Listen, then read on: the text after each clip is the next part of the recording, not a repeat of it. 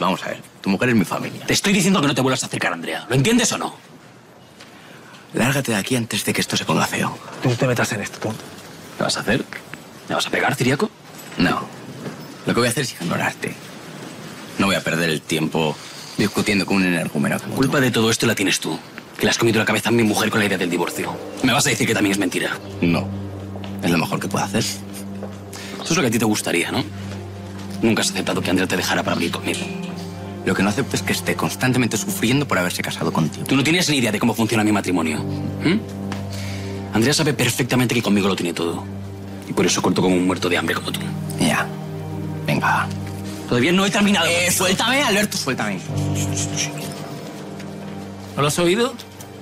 ¿Se puede saber quién eres tú para meterte en esto? El futuro suegro de Ciriaco. Y como le vuelvas a hablar así, te voy a dar un jarabe que se te va a quitar todas las tonterías. ¿Te enteras? Es entre Ciriaco y yo, no tiene nada que ver contigo. A mi hija aquí presente también le afecta. ¿Comprendes ahora que Ciriaco no necesite conquistar a nadie? Todo lo que quiere lo tiene mi hija Maribel. Que para eso se ha jugado la vida por ella. ¿Te ha quedado claro ya? Contesta. ¿Te has enterado sí o no? Perfectamente. Fetén. Pues ahora largo. Venga. Aire.